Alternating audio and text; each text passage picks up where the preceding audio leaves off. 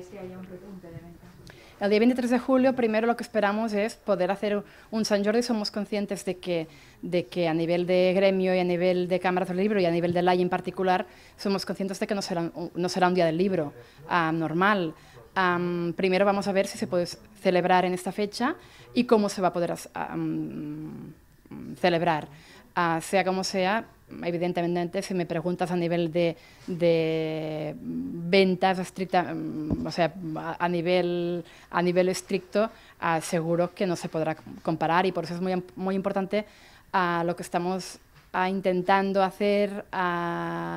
de hablar con todas las instituciones habidas y por haber para que nos ayuden a las librerías, primero a que todas las librerías se puedan reabrir y segundo a que, a que lo podamos hacer de la mejor manera posible, no solo a nivel sanitario para nosotros mismos como trabajadores y también evidentemente para nuestros clientes, amigos y lectores, sino mm, también para poder asumir todos los problemas de, de liquidez que hay y con lo cual um, todo el ecosistema librero uh, en este país es muy importante. Tenemos la suerte de, de tener muchas librerías, uh, pero eh, eh, es un eslabón débil de la cadena. Estos días hemos visto que,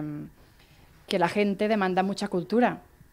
durante el confinamiento y la lectura en particular está siendo muy importante. Pues esto lo tendríamos que tener, o sea, todos tendríamos que tener conciencia de que esto tiene que ser así siempre y que si las librerías no pueden reabrir, vamos a tener un empobrecimiento cultural de la población. Y el pensamiento crítico se fomenta gracias a las librerías, en parte gracias a las librerías, con lo cual